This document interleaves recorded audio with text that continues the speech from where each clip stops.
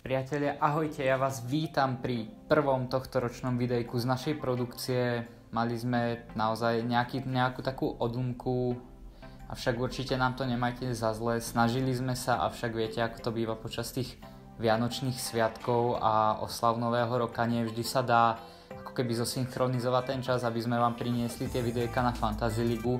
A najmä tie posledné dve kolá sme naozaj čakali až hodinu pred zápasom, aby sme tie zostavy nejak poskladali, pretože sme chceli zabudovať, čo sa nám aj podarilo. Starý rok sme ukončili na vynikajúcich miestach, Michael v top 30, ja tesne za ňou, avšak myslím si, že ak nie po tomto, ak naozaj nevyhorím, tak po tom ďalšom kole by som tam už mohol sa aj na dlhšie udržať, takže som na, na to naozaj zvedavý.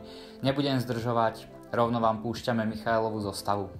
Priatelia, zdravíčko, moje meno je Michael a práve sledujete video, v ktorom uvidíte nielen moju zostavu, ale takisto aj Máriovú a ja vám môžem povedať v stručnosti k svojej zostave len toľko, že je to opäť taká trošku logicky nelogická zostava, atypicko-typická, jednoducho je to mix aj hráčov, ktorí získavajú body, hráčov, ktorí sa môžu pobiť, hráči, ktorí sa ešte nebili, ale mohli by sa teoreticky pobiť, takže poďme sa spoločne pozrieť na to, ako som to poskladal.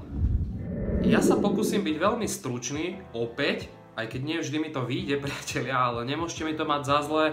Začal by som rovno tým, že mal som dva základné stavebné kamene moje zostavy a tým prvým je Josh Brittain na ľavom krídle. Myslím si, že tento hráč má naozaj excelentnú fazónu.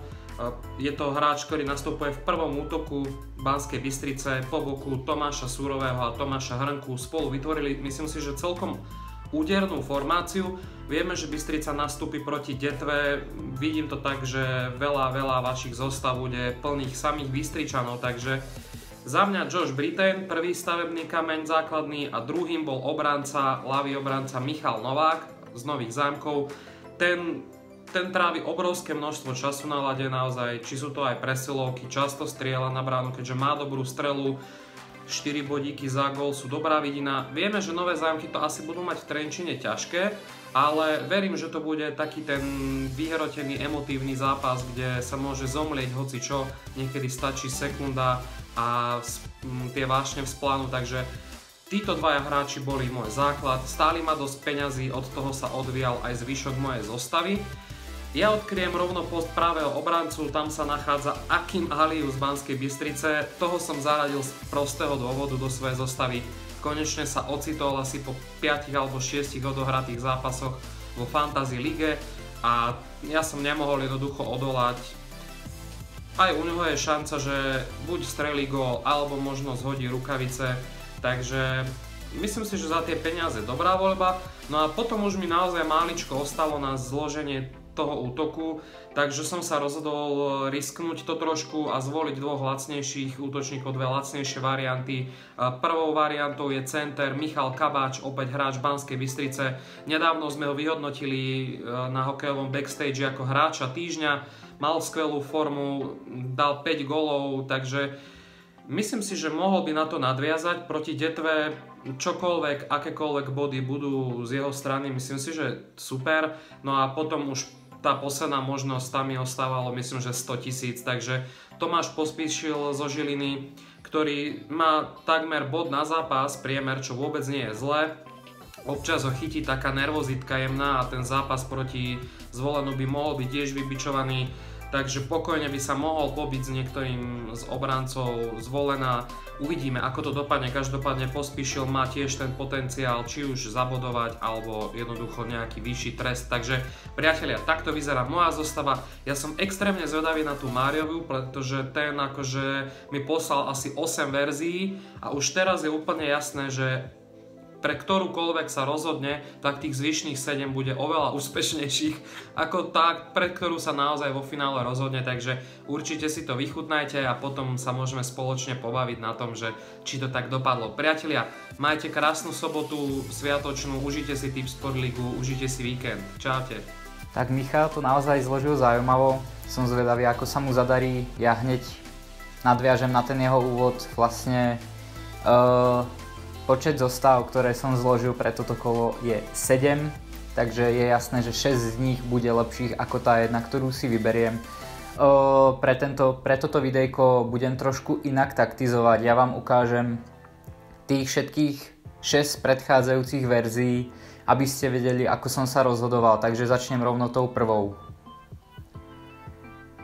Tu vidíte, že som to stavil na Josha Britejna, ktorého hrá cez 1300 ľudí. Je to úplne pochopiteľné, posledné dva zápasy boduje a tuším od zápasu, kedy hral Bystrica ešte v Poprade. Vtedy bol posledný zápas, kedy Josh Britejn nebodoval a to aj vtedy dokonca získal dva, dve trestné minútky, takže naozaj bodoval vo Fantasy Lige, ale nebodoval čo sa týka kanadského bodovania.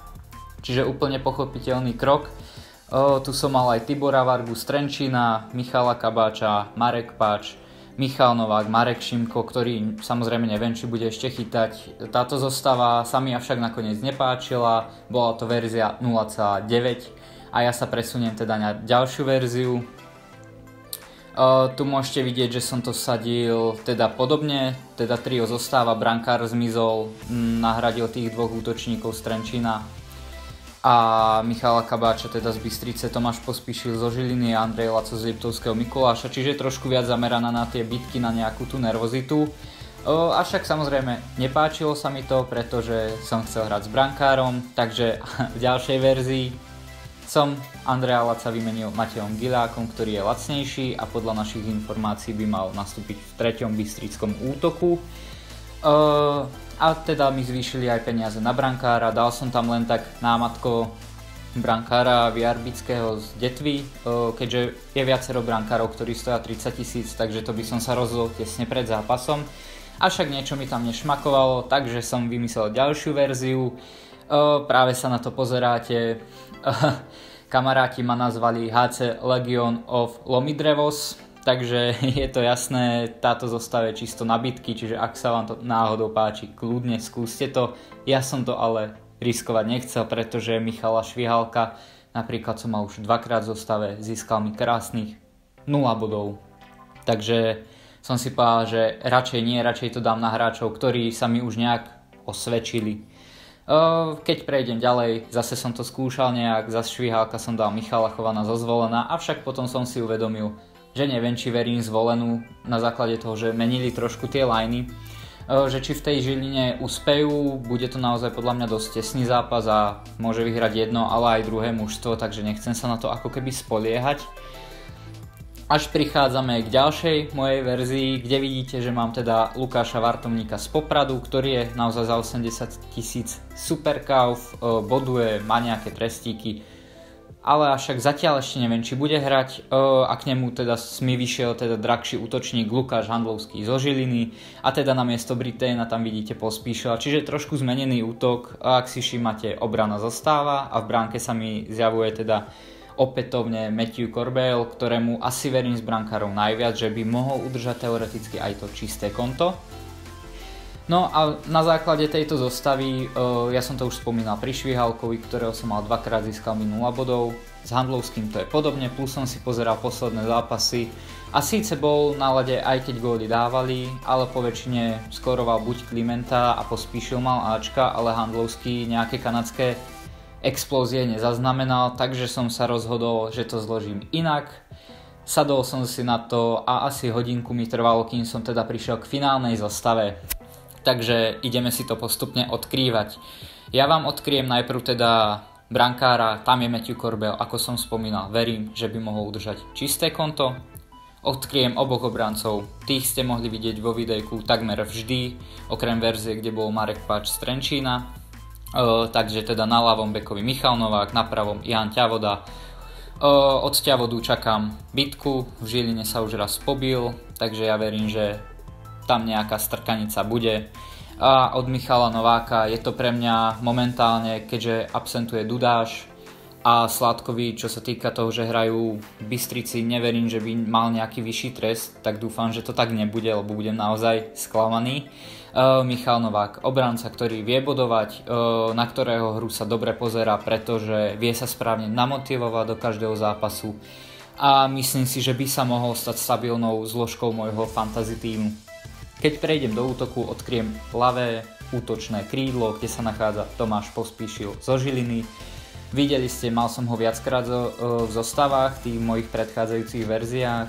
Nakoniec dostal šancu, mojej zostavičke, eh, keď som sledoval tú Žilinu, naozaj má veľký prehľad, vie zakončiť, vie prihrať, vie poskytnúť naozaj či už Klimentovi krásnu gólovú situáciu a taktiež videl som u neho už aj nejaké tie náznaky strkaníc a podobne, čiže naozaj keby sa mu nedarilo, je, je možné, že tam nejaký, možno aj vyšší trestík bude.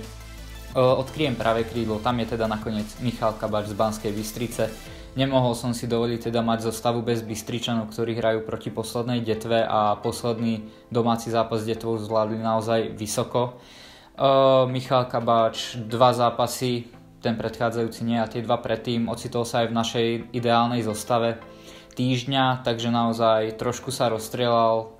A ja verím, že potom, čo minulý zápas na lade zvolnú, teda veľa bodov nezaznamenal, takže teraz proti detve by nejaké mohol.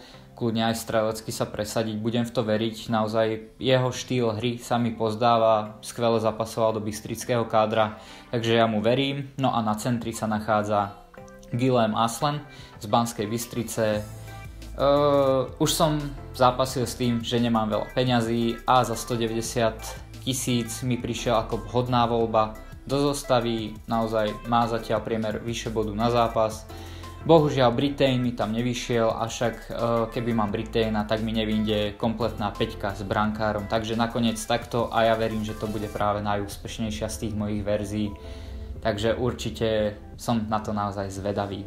Tak priatelia, toto videjko sa trošku natiahlo, videli ste Michailovú klasickú zostavičku a videli ste teda môj dlhý, dlhý deň či dva, koľko som skladal teda tú moju ideálnu zostavu ja verím, že sa ne, nepotvrdí pravidlo, že mal som nechať to, čo som tam naskladal ako prvé a ako náhle uvidím o, o nejak o tej pol štvrtej, že Tibor Varga dal dva góly, tak asi, neviem, asi odinštalujem aplikáciu a prihlásim sa ako nový užívateľ, pretože by to bolo smutné z môjho pohľadu. Avšak ja mojej zostave verím a teda určite nám dajte do komentárov na Facebooku vaše zostavy a dajte nám vedieť do komentárov, či už sem na YouTube alebo na Facebooku pod, do komentárov vaše názory na to, čo si myslíte, že ktorá z mojich zostav bude najúspešnejšia a ja to možno ešte prípadne zmením na základe nejakého vášho hlasovania. Takže určite nasledujte ďalej a nezabudnite dať odber, nakoľko po dlhšom čase máme teda videjko a zaznamenali sme trošku ten pokles v tej sledovanosti, takže veríme, že opäť pôjdeme len vyššie.